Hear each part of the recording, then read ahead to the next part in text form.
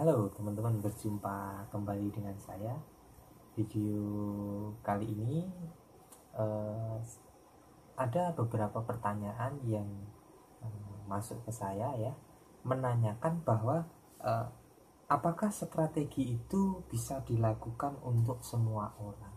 Nah, teman-teman, pertanyaan ini memang eh, jawabnya bisa relatif ya, tergantung eh, tergantung kita menyikapinya seperti apa. Karena menurut saya sebuah strategi yang baik itu memiliki beberapa uh, acuan ya. Acuan di sini adalah uh, mengenai analisanya mengenai uh, posisinya ya. Posisi setelah analisa kita mengetahui posisi posisinya uh, terus uh, adalah manajemennya nanti masuk ke psikologinya. Jadi setiap analisa menurut saya itu atau setiap strategi maksud saya itu susah untuk ditekankan oleh atau untuk seseorang yang memiliki karakter yang berbeda.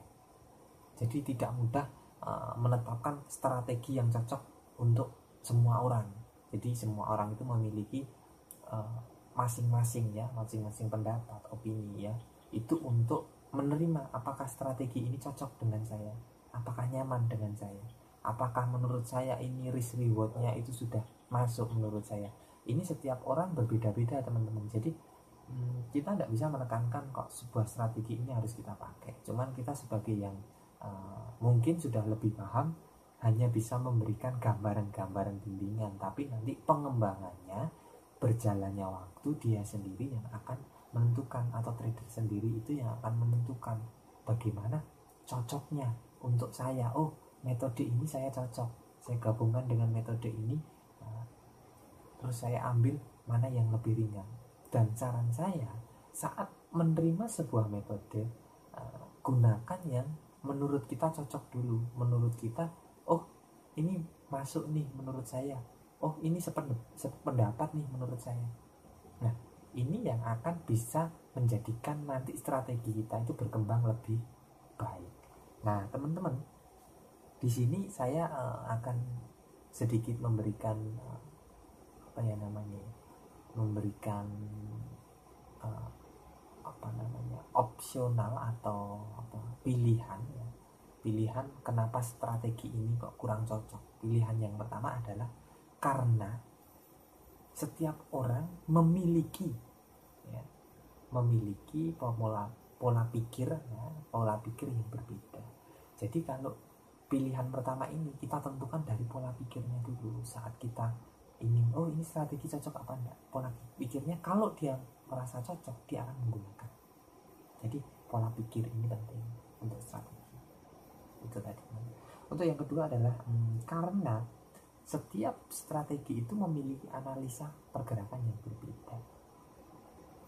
Pengambilan dari titik tertingginya, pengambilan titik terendahnya, eh, mulai menentukan momentumnya, ini berbeda-beda. Dan setiap orang memiliki pilihan untuk mengiyakannya atau mentidakkannya. Oh, ini cocok dengan saya saya akan kombinasikan dengan apa sih yang saya dapat kemarin nah gunakan yang sesimpel mungkin jadi jangan terlalu berat. Kita pakai yang sederhana karena dasarnya trading itu sederhana. Kita hanya memprediksi harga. Uh, inti terpentingnya adalah manajemennya nanti dan psikologi. Itu pilihan yang kedua tadi. Pilihan yang ketiga adalah setiap orang memiliki pilihan dalam menentukan open posisinya ya. Dalam menentukan apa posisinya dalam menentukan hmm, stop lossnya take profitnya itu berbeda-beda setiap orang. Jadi itu juga merupakan pilihan masing-masing. Jadi tentukan yang mana yang kita cocok dulu itu tadi. Untuk selanjutnya adalah karakter.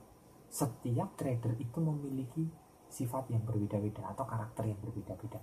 Jadi orang ini mudah sekali terpancing emosinya. Oh orang ini sabar oh orang ini orangnya tekun. Oh orang ini disiplin. Nah karakter yang berbeda-beda inilah yang mengakibatkan sebuah strategi ini ya akan berbeda pula apabila diterapkan oleh orang yang berbeda karakternya. Ya itu tadi.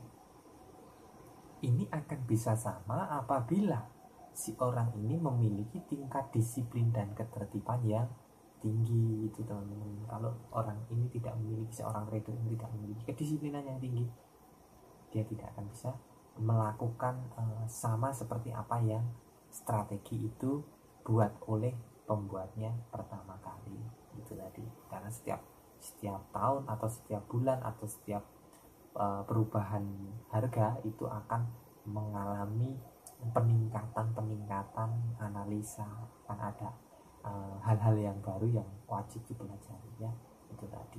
Untuk yang terakhir adalah uh, setiap orang itu memiliki waktu longgar yang berbeda. Jadi memiliki waktu di sela-sela aktivitas ataupun kegiatan itu yang berbeda.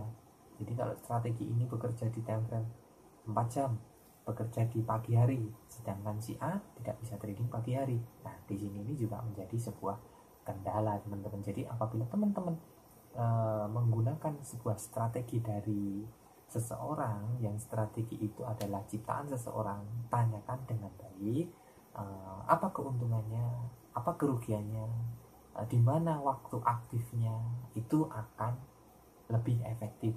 Setelah itu kita tinggal disiplin mengikuti atau boleh kita merubah sesuai dengan apa yang telah kita pahami. Itu Nah, itu menurut saya teman-teman uh, video kali ini mungkin saya cukupkan sekian. Apabila dalam penyampaiannya saya tadi ada salah kata, saya mohon maaf. Jangan lupa subscribe channel saya untuk dukung saya video-video saya berikutnya. Salam profit konsisten.